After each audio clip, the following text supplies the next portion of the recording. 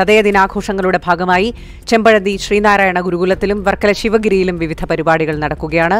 ശിവഗിരിയിൽ Sreenarayana Dharmasangham trust president Swami Sachidananda പതാക ഉയർത്തി ശിവഗിരി മഠത്തിൽ നിന്ന്. മുഹമ്മദ് കൗസറുണ്ട്. കൗസർ വിവരങ്ങൾ.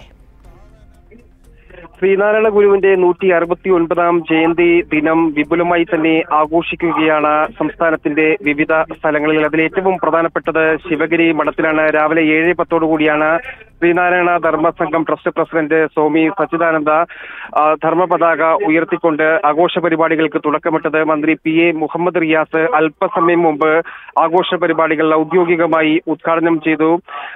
അദ്ദേഹം ഈ ശ്രീനാരായണ ഗുരുവിന്റെ സമാധി സ്ഥലത്തെത്തി പുഷ്പാർച്ചന അർപ്പിച്ചതിന് ശേഷമാണ് ഉദ്ഘാടന സ്ഥലത്തേക്ക് എത്തിയത്.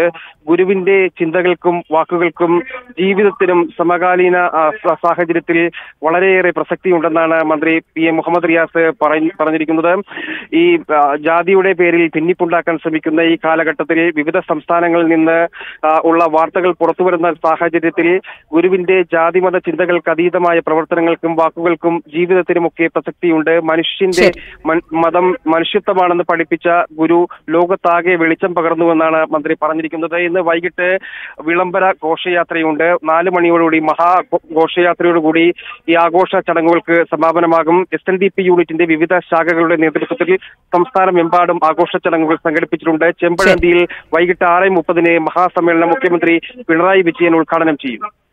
ശരി കൗസർ.